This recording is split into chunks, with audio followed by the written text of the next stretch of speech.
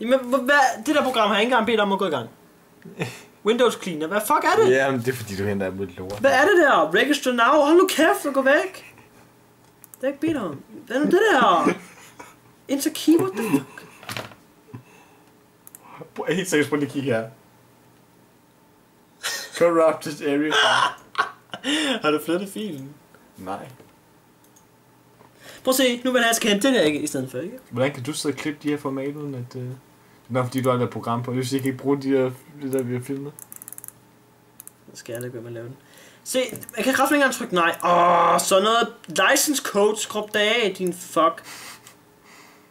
Hvad er det her hardware helper pis? Se, nu ligger der 13 programmer, skriv på. Kraft nok til. Kraft nu få dem alle sammen væk. Se, alt sammen med virus. Nej, det er ikke. jo, det er. Windows Cleaner, er det noget, der følger med computeren? Gud, der røver uninstall. Total destroyed! Jeg vil ikke aktivere det!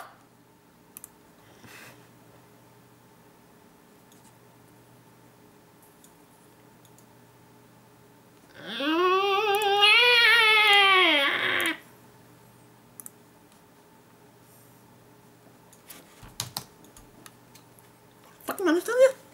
Fanden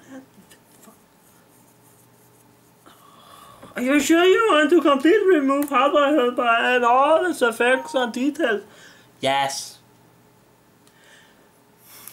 Du skal eddermame ikke prøve at starte en hjemmeside, det kan jeg godt sige dig. Tak. Spil så bunch of views. Prøv at slappe af, mand. Seriøst, så kommer den med tre. Hey, du kan forresten lige registrere det her, og registrere det her. Og husk nu lige at registrere det her, og så... Du ser ikke optaget. Du er en faggot. Fede faggot. Rigtigt.